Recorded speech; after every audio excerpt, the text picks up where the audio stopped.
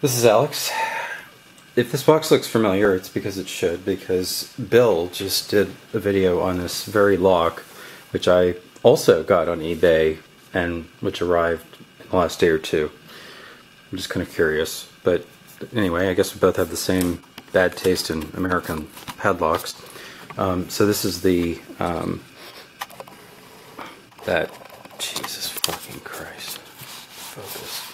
Um, this is that very heavy, I don't know what you call this, but this very round headlock, um, which I have not tried to pick yet, but we'll try to do just now. So let me put the camera back a little bit here. See if it'll focus now. There we go. All right. So Bill's lock apparently didn't have much uh, excitement to it, and so my expectations are fairly low. But we'll see what happens here. So that's not going to work.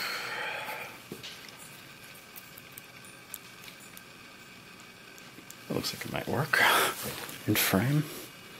That's better.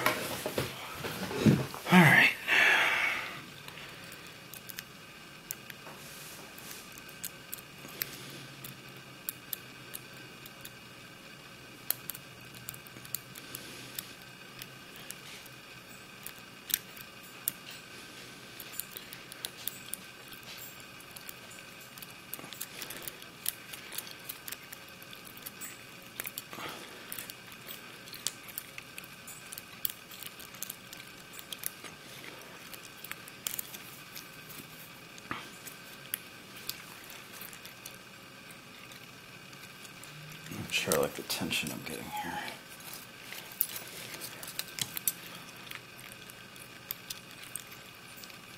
It feels more like it.